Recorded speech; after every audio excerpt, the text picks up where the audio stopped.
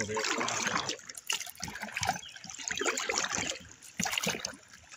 Haven't caught no fish, so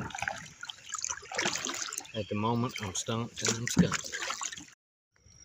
Well, finally caught me one, this little guy, right off the bank. I just tied it on and tossed it out in the water so I could reel it in without any kinks in the line, and he nailed it. Get back in the water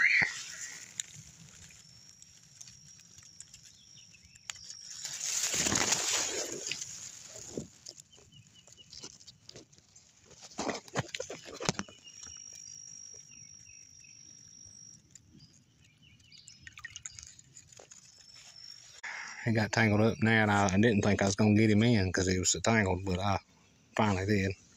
Well, at least the skunk's off.